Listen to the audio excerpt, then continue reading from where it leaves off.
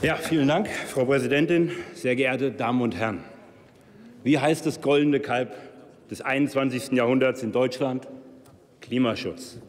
Wenn dieses Wort fällt, setzt jede rationelle Diskussion in diesem Haus hier aus. Moment, Moment. Ausgehend von 1990 wollen wir den CO2-Ausstoß bis 2020 um 40 Prozent reduzieren. Deutschland hat einen Beitrag an den weltweiten CO2-Emissionen von circa 2 Prozent. Mit unseren Einsparzielen können wir also circa 1 Prozent des weltweiten CO2-Ausstoßes beeinflussen. Selbst unter der Annahme, dass CO2 tatsächlich einen Einfluss auf das Weltklima hätte, ist der deutsche Einfluss praktisch unbedeutend. Ich will, ich will, ich will, aber, trotzdem, ich will aber trotzdem die deutschen Ziele mal kurz in Maßnahmen ableiten.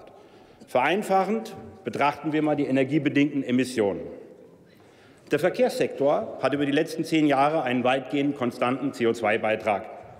Und warum das auch so bleibt, das erkläre ich etwas später in der Rede.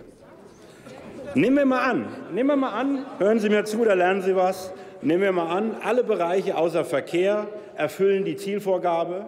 Was bedeutet das für die Stromversorgung, Stromerzeugung? Die Summe aus Stromerzeugung und Verkehr betrug 2015 ca. 500 Megatonnen CO2. Von unserem Einsparziel waren wir ca. 90 Megatonnen CO2 entfernt. In den letzten zwei Jahren hat man ca. 9 Terawattstunden auf erneuerbare Energiequellen übertragen. Da fehlen aber noch 81 Terawattstunden.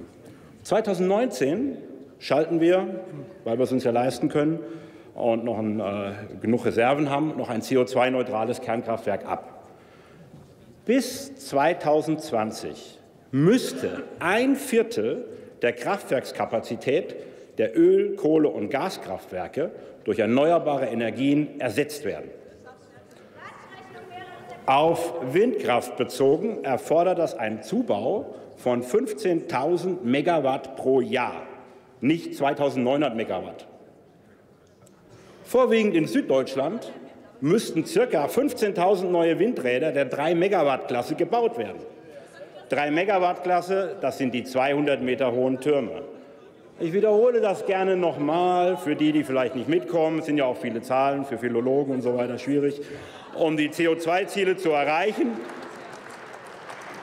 um die CO2-Ziele zu erreichen, bräuchten wir ca. 15.000 neue Windräder mit 200 Meter Höhe, vorwiegend in Hessen, Bayern und Baden-Württemberg. Mit ca. 6.000 neuen Windrädern in Fernsehturmhöhe in Bayern ist das Thema Wohlfühlen in der Heimat erledigt. Da hilft Ihnen auch kein Heimatministerium. Durch. Merken Sie eigentlich was? Noch nicht einmal, einmal CO2-Einsparungen von 40 Prozent können mit realistischen Annahmen überhaupt erreicht werden. Wie weit sich dieses Parlament von der Realität entfernt hat, erkennt man daran, dass in den letzten Jahren niemand hier die CO2-Ziele in technisch realisierbare Maßnahmen abgeleitet hat. Und das hat in dem Einzug der AfD jetzt ein Ende. Die Energiewende ist ein schönes Märchen. Es gibt keinen Plan zur Realisierung. Für das Parlament eines modernen Industriestaats ist die permanente Vortäuschung der Machbarkeit des Energiewendemärchens ein absolutes Armutszeugnis. Und jetzt komme ich zu meinem Lieblingsthema. Etwas ganz Besonderes ist die immer wieder proklamierte CO2-Einsparung durch Elektromobilität im Verkehrssektor. Und da sollten Sie mir zuhören, da kenne ich mich besser aus als wahrscheinlich jeder hier.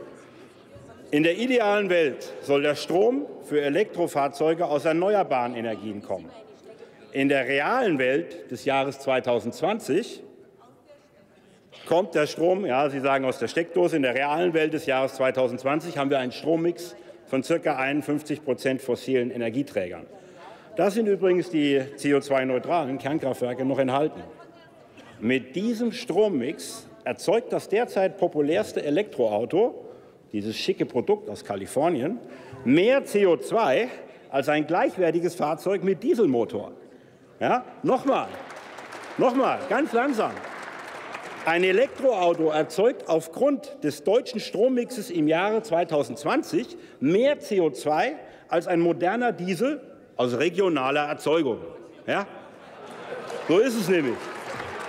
Und wer die Förderung von Elektroautos betreibt, kann also keinesfalls die CO2-Reduzierung als Ziel haben. Statt sachlich, statt sachlich die Probleme in diesem Land zu lösen, vernebeln Sie die Fakten. Die Menschen in diesem Land haben ein Recht darauf, dass wir hier ihre Interessen vertreten.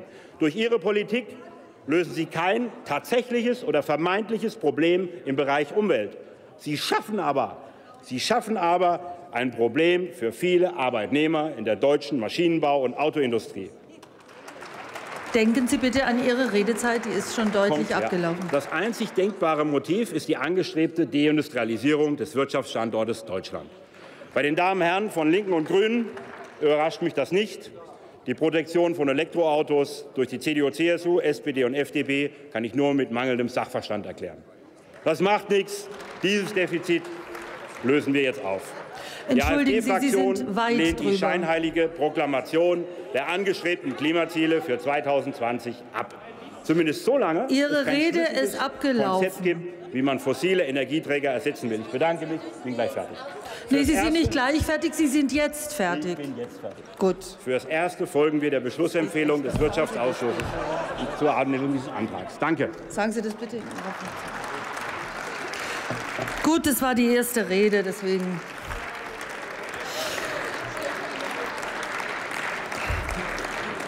So. In der spannenden Debatte ist der nächste Rede Lorenz Göster Beutin.